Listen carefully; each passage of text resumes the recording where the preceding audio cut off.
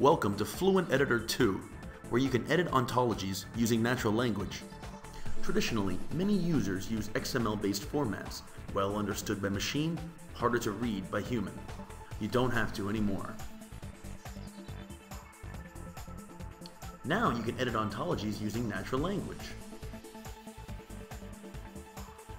With our software, you can import existing ontologies from OWL files, you can export custom ontologies to OWL format, as well as export custom rules to SWRL format.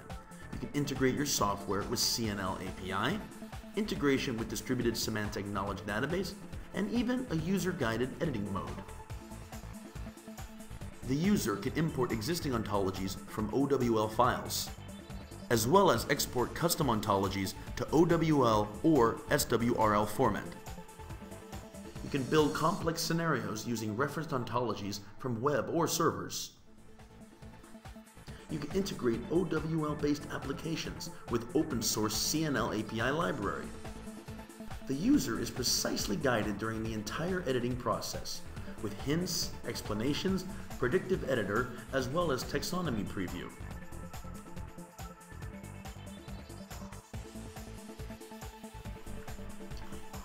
Distributed Knowledge Database Connectivity.